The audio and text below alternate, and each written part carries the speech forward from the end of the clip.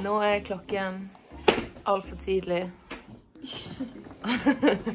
Meg og Sanne har sovet på hotell, for vi har lyst på hotellfrokost. Eh, og vi er klare til å reise til London. Kjempeglad. Egentlig ikke helt klar, men det kommer seg sikkert. Det går fint. Her er dagens meget ulekre outfit. Um, alle verdisaker, all snacks Nei, det er ikke bare snacks oppi der. Er enda mer snacks oppi Sanna sin. Og Sanna er veldig fornøyd, fordi at inni den kofferten Hva er det der? Der er enda en koffert. Og den passer helt perfekt. Den er liksom alle kanter. Altså, det er ikke sånn trangt, men sånn, bare sånn Se nedi der, liksom. og så er den liksom Det er ikke håndbagasje, du må sette en kål, liksom. Men den er liksom passer litt inni der. Ja, så det veldig fint. Ja, det er hyggelig. Ja. Det er en koffert inni der men den er ikke så stor. Um, vi har eh, eh, Altså, vi kom hit i går, og så var vi sånn Ja Ja. Hvor er TV-en vår? Vi har sett masse på TV. Eh, nei, det ble ikke så mye TV-titting, for å si sånn. Og så har de heller ikke spandert på seg bilder. Eh, så vi har fått en papplate med bilder av bilder. Mm. Så det er sånn Inception. Og hvis du ser ut ja. vinduet, så er det veldig fin steinvegg. Altså. ja. Det er den Rett inn i fjellet. jeg har sett. Er du klar?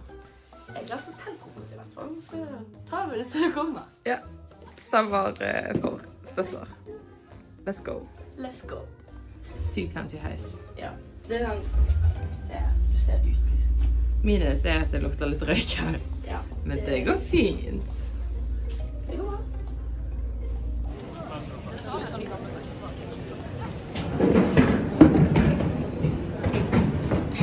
Klar?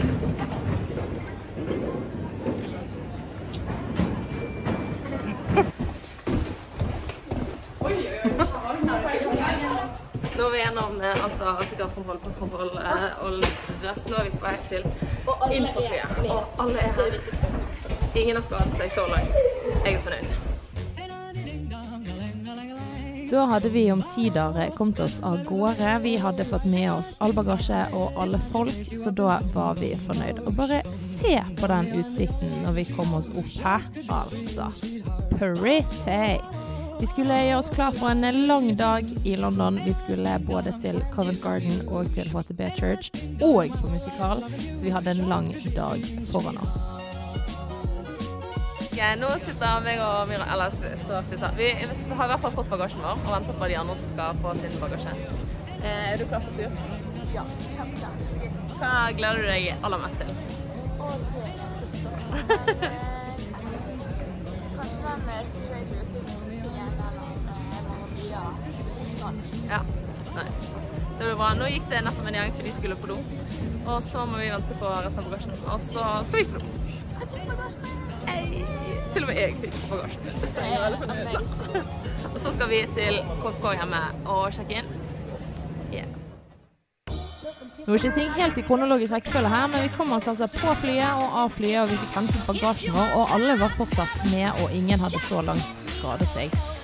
Og vi eh, gikk til togstasjonen og fant ut at eh, akkurat den perioden vi skulle være i London, så var det togstreik, så det skapte litt problemer eh, utover turen. Men vi kom oss omsider på et tog, og vi kom oss frem til Holland Park, der vi skulle bo på KPK-hjemmet til KPK KPM.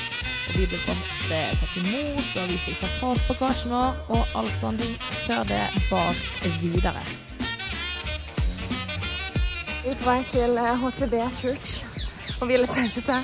Men å oh gud, å oh gud. Vi er der nesten. Typisk eh, vår å gå til feil kirke. Vi fant jo ut til slutt at HTB har ikke mindre enn seks kirker i London, så vi gikk til feil kirke. Men vi kom oss eh, til riktig kirke til slutt, der Jazz Jas og Ellie tok imot oss, og det var meget, meget hyggelig. Vi fikk høre litt om hva de driver med, og hva de tilbyr for ungdommene i London.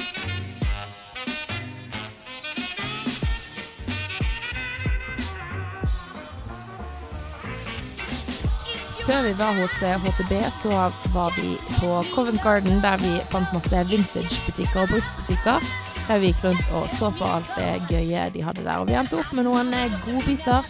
Noen eh, kule bukser, noen kule gensere, en veldig kul julevest. Jeg bare sier det. Og så eh, fikk vi virkelig lært oss å bruke undergrunnsbanen, så der ble vi godt dreven. Og selvfølgelig på disse vintage-butikkene så var det jo godt utvalg av julegensere, noe vi, eh, mange av oss i hvert fall, satte pris på. Her fant vi òg verdens aller kuleste bukse vi har sett i hele vårt liv, og den ble heldigvis kjøpt av en av oss.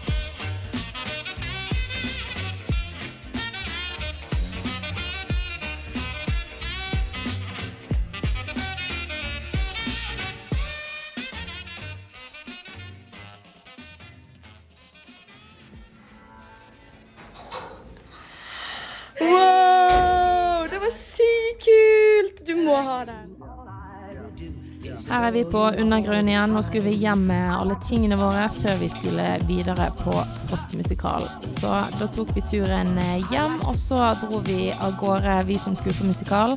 Og vi fikk eh, veldig gode plasser.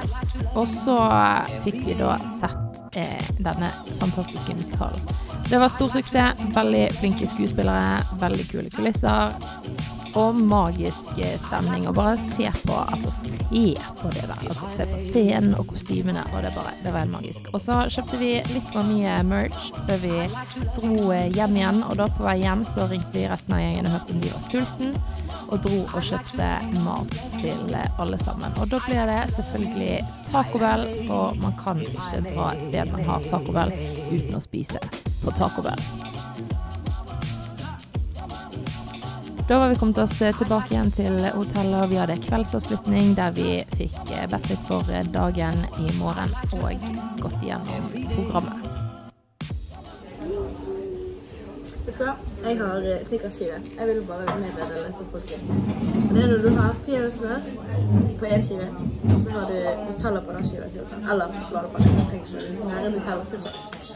Og så spiser du begge skiver samtidig. Veldig godt. Alle må prøve. Jeg har prøvd.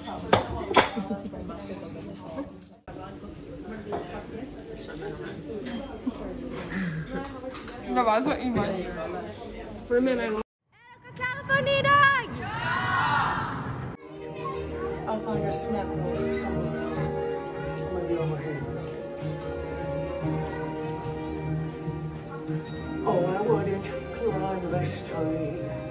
a pool flew like a bee.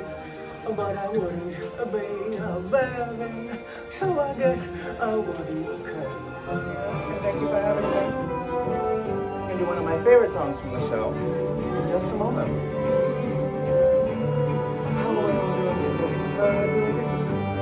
Great. Thumbs up. and about Winnie the Pooh is it is genuinely a story for literally everybody. And we have uh, 12 months old, we have 2 years old, we have Dagen eh, etterpå så fant vi ut at vi skulle gjøre unna all shoppingen, så da endte vi opp på bl.a. Disney Store, der vi møtte på skuespillerne fra eh, Broadway-musikalen Winnie the Pooh. Så da fant vi ut at vi skulle gå på liveshow der, før vi eh, gikk videre til bl.a. Victoria's Secret og mange andre eh, butikker som alle hadde lyst til å gå innom. Så det var veldig stas. Fikk da møte han hovedskuespilleren i eh, Broadway-musikalen, som da spiller Ole Brumm. Fordi at de skal ta den Broadway-musikalen til London West End i 2023. Så det var litt stas. Og vi fikk eh, kommet oss alle stedene vi hadde lyst til å gå. Det ble mye shopping og mye løping og mye konstant være seint ute til ting. Men sånn ble livet på denne reisen. Mottoet ble 'Vi må gå'. Eh, men vi ble veldig drevent i løping og eh, Google Maps.